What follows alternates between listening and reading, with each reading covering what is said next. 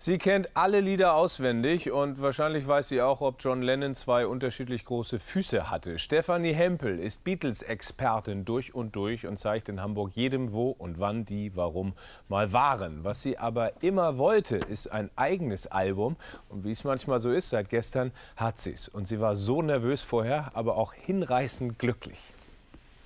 Jetzt freue ich mich total. Ich bin total aufgeregt, freue mich riesig, dass die Platte rauskommt, dass wir das heute feiern, dass Gäste da sind, dass äh, alle da sind, die an der Platte mitgemacht haben und jetzt wird es gefeiert. Auf diesen Moment hat sie lange gewartet, eigentlich schon von klein auf, denn seitdem schreibt sie schon Songs. Mit der CD jetzt auch für die breite Öffentlichkeit ein Traum, ihr Traum.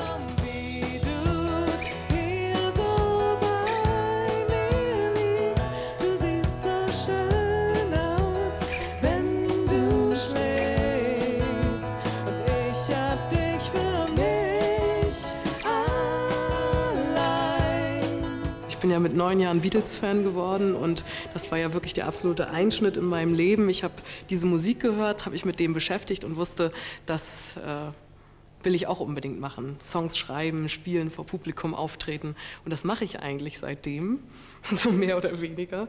Und äh, da hat es jetzt äh, fast über 20 Jahre gedauert, bis man die erste Platte wirklich rausbringt und die Leute das kaufen können und das ist... Ja, endlich ist es passiert. Toll. Die Beatles waren ihre erste große Liebe und die prägen sie bis heute. Wenn sie Touristen zu den Orten, an denen die Fab vor ihr Unwesen getrieben haben, führt.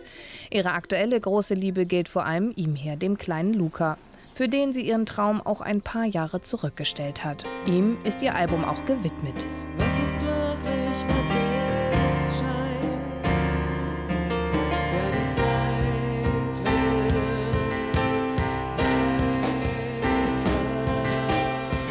Nah dran heißt das Album. So nah dran war sie schon bei mehreren Plattenfirmen, doch den meisten war ihre Musik letztlich zu unkonventionell. Eine hat sie aber endlich mit ihren Songs verzaubert. Das sind die Melodien, das sind die, ähm, wie ich finde, sehr erwachsenen Texte.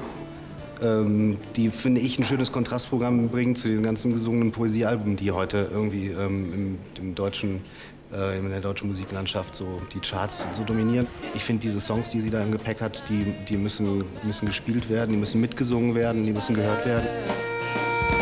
An einem anderen Tag werde ich klüger sein. Dann lass ich mich nicht mehr auf dich.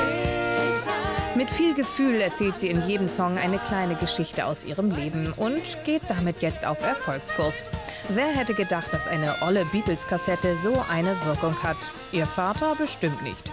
Das ist ihr Leben und äh, ich bin, wenn mein Kind glücklich ist, dann bin ich unheimlich stolz. Und dann bin ich auch glücklich. Musik ist ihr Leben. Das merkt man ihr sofort an. Schon allein deswegen macht es Spaß, ihr zuzusehen und vor allem zuzuhören.